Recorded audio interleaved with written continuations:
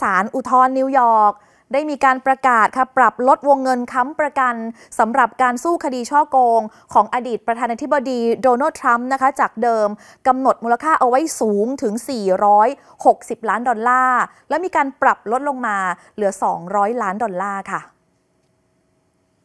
เมื่อวานนี้ผู้พิพากษาศาลอุทธรณ์นิวยอร์กตัดสินนะคะปรับลดวงเงินหลักทรัพย์ ที่อดีตประธานาธิบดีโดนัลด์ทรัมป์ต้องวางเป็นหลักประกันในคดีฉ้อโกง คือลดลงจากเดิมที่ 464 ล้านดอลลาร์สหรัฐ หรือประมาณ 16,000 ล้านบาท ลงมาเหลือนะคะ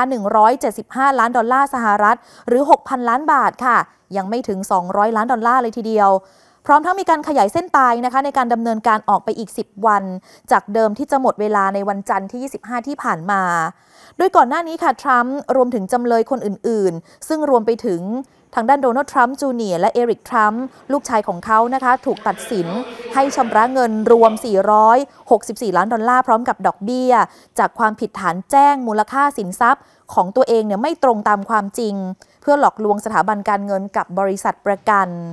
เดิมทีนั้นทรัมป์ต้องหาเงินสด หรือว่าหลักทรัพย์จำนวนเท่ากันค่ะ เพื่อมาวางค้ำประกัน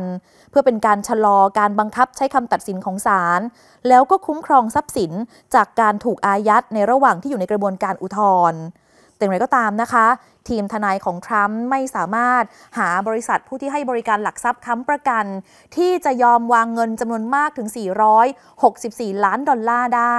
จึงมีการยื่นคำร้องขอลดวงเงินค่ะ ซึ่งในวินาทีสุดท้ายเลยศาลมีคำสั่งลดให้นะคะ เหลือ 175 ล้านดอลลาร์และหลังจากที่ศาลมีคำตัดสินทรัมป์ระบุว่า ตัวเขาจะวางเงินสดเป็นหลักทรัพย์ค้ำประกัน แล้วก็ไม่จำเป็นต้องไปกู้ยืมค่ะ เพราะว่าตัวเขาเองมีเงินมากมายอยู่แล้ว